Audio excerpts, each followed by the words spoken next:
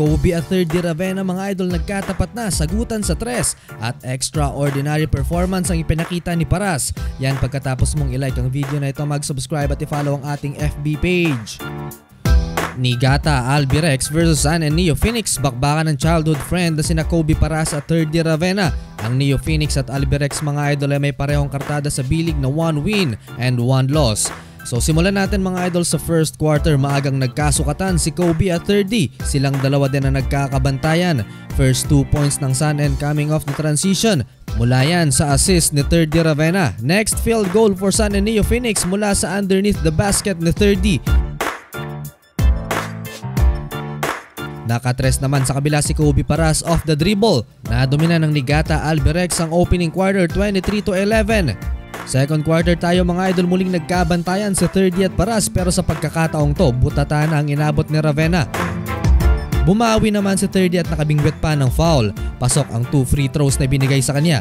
After nyan mga idol si Kobe naman ay nagsisimulang uminit para sa Nigata Albirex una sa pull-up jumper. Sinundan ng back-to-back 3-pointer contested yan mga idol at yung isa dyan ay step back 3-pointer pa. Nakakuha naman ng foul si 30 kay Paras papasok ng last 2 minutes sa first half. End of first 2 quarters lamang ng 11 puntos ang Albirex 31 to 42. Leading scorer ng Nigata si Kobe with 11 points, 2 rebounds on 50% shooting. Nakakatatlong tres na rin si Paras. Si 30 naman ay nagtala ng 6 points, 4 assists on 33% shooting. Parehong 15 minutes na naglaro si Paras at Ravenna. Third quarter mga idol maagang natawagan ng unsportsmanlike foul ang kakampi ni Kobe Paras. Matapos nitong sabayan sa transition si Ravenna. Two free throws plus ball possession ang binigay sa Neo Phoenix. Hindi pa natatapos dyan si 30 mga idol dahil back-to-back 3-pointer pa ang dinagdag niya para sa Sun and Neo Phoenix.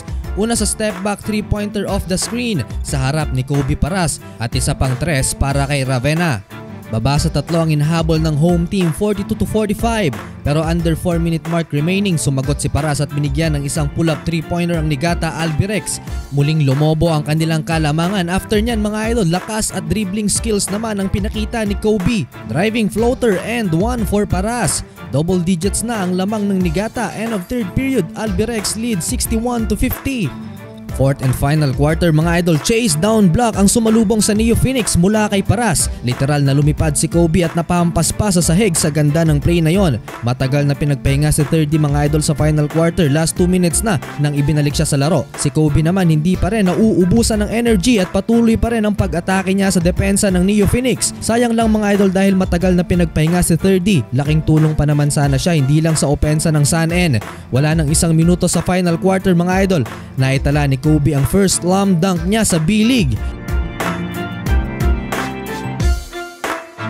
Final score 67 to 77 panalo ang Nigata Albirex. Third di Ravenna 16 points 4 assists on 36% shooting playing 26 minutes. At Kobe Paras extraordinary performance 21 points, 5 rebounds, 3 assists, 2 steals on 50% shooting playing 31 minutes.